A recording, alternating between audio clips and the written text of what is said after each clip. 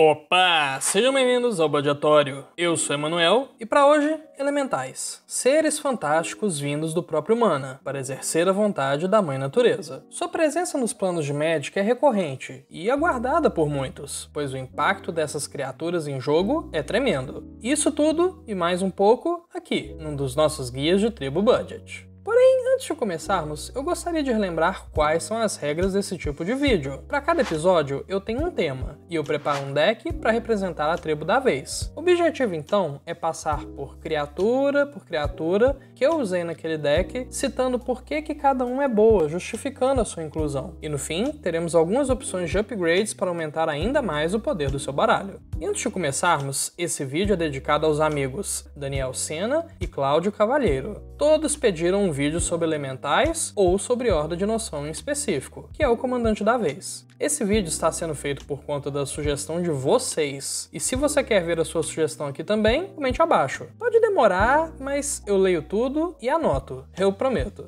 E sem mais delongas, vamos nos juntar ao turbilhão e ver o que nos espera.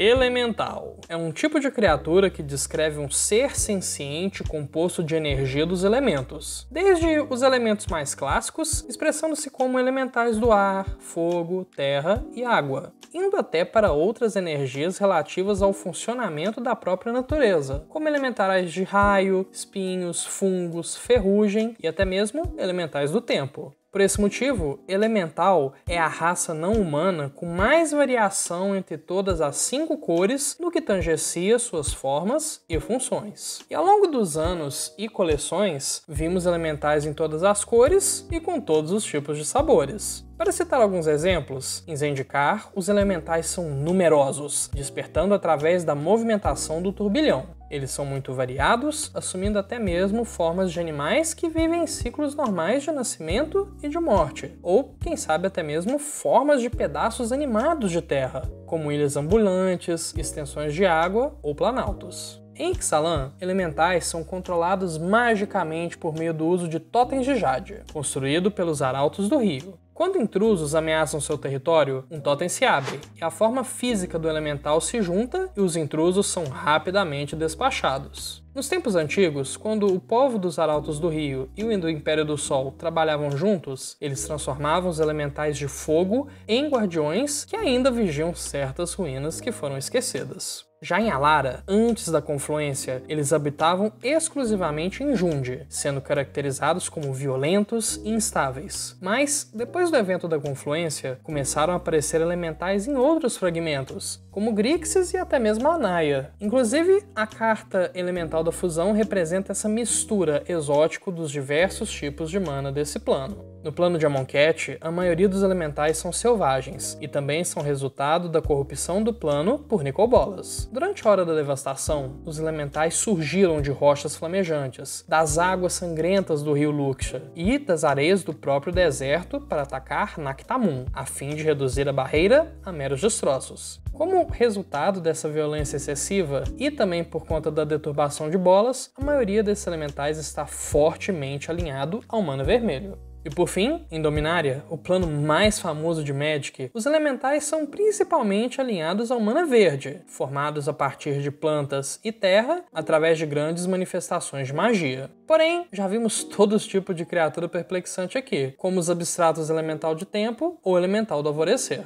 E para guiar uma tribo tão fantástica, temos que começar pelo básico, que é escolher um comandante. Não tem como errar, pois no geral, comandantes de elementais são todos muito bons. Nas cores Temur, ou seja, verde, vermelho e azul, temos três opções principais para escolher: o Vagante do Maelstrom, Animar, Soul of the Elements e Omnef, Locus do Turbilhão. O Vagante foca mais em gerar mana muito rápido para que você o conjure. Assim você recebe duas cascatas para 7 e ainda concede ímpeto para o seu time. Bem explosivo. Já o Animar e o Omnef são generais com um plano de jogo mais cadenciado no início, mas com potencial muito mais alto. работу ambos ganham marcadores, ambos lidam com muito mana, porém o Omnef gera um deck mais justo, que vai comprando umas cartinhas ali, enquanto o Animar é melhor com combo e sendo partes vivas da própria natureza, naturalmente teremos decks de elementais focados em aterragem. Ambas as titânias dão ótimos decks com suas estratégias de cemitério, enquanto Omnef, Locus da Fúria, vai te entregar o puro agro com terrenos. É porradaria liberada. Partindo para o Sultai, que é verde, preto e azul, temos Mudrofa, que produz um deck interessante e resiliente pra caramba por conta dos seus loops de cemitérios gerando quantidades de valor imensas. Agora, o Yarok, que é o outro elemental Sutai, joga toda a cautela pela janela, enquanto você comba com os melhores elementais que entram no campo de batalha, gerando efeitos dobrados.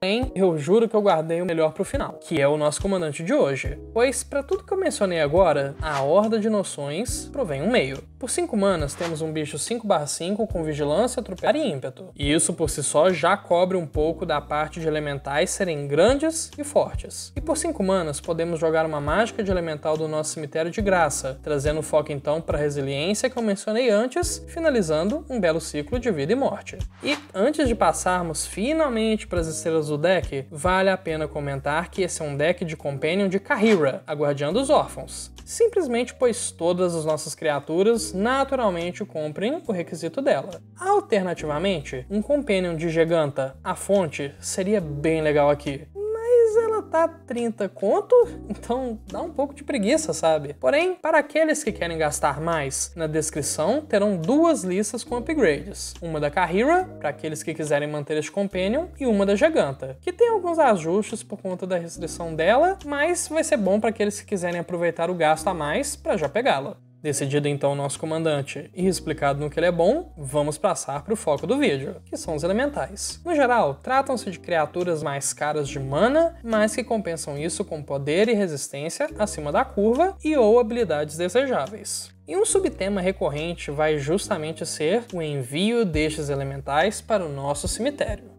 Indo por categoria, nós temos elementais que aceleram mana, como a encarnação da primavera, que pode ser sacrificada para acelerar um terreno básico para o campo de batalha. Esse deck interage com a aterragem, então tá justo. Alferes de Lara e Luz, que reduz nossas mágicas de elementais e de guerreiros em um mana. Deve ser fácil de imaginar que um desses tipos é mais relevante que o outro nesse deck. Druida Fólio, que vira para adicionar um mana ou dois, caso tenhamos quatro ou mais criaturas. Trança Fumaça, mais um Dork que adiciona 2 manas, porém dessa vez apenas para conjurar elementais e ativar habilidades de elementais. Porém, para compensar, você escolhe as cores do mana, o que é bom. Floriedo Emaranhado, uma criatura que é um land verde virado atrás e um dork verde na frente. Se esse for o seu único land, você o faz como land do turno. Se você já fez land, mas consegue e quer acelerar mana, aí você joga essa carta com o modo da frente. Eu particularmente a uso assim, apesar de haverem nuances.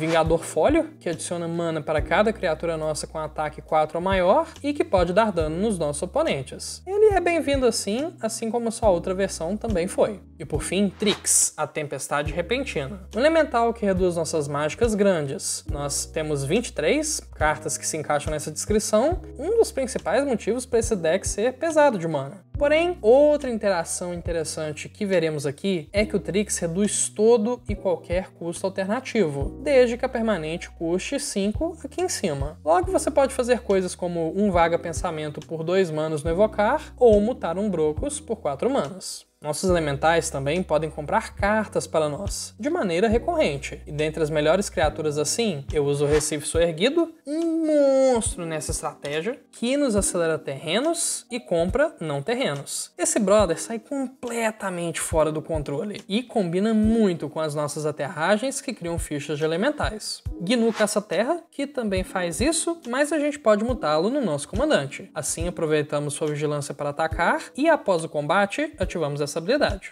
Gigante Tectônico, que exila cartas do topo para jogarmos ou reforça o nosso agro com mais dano direto. E Alma da Colheita, que está para o deck de elementais, assim como o Sussurrador de Feras está para o deck de elfos. Tirando que aqui é um efeito de entrar no campo de batalha, logo interage muito bem com reanimação. E se você está gostando do vídeo até aqui, peço que deixe um gostei para gerar mais engajamento. Que se inscrevam caso não sejam inscritos e não se esqueçam de ativar o sininho para receber uma notificação sempre que sair um novo vídeo. E me diz aí, qual é o seu elemental favorito no Magic? Eu vou adorar saber.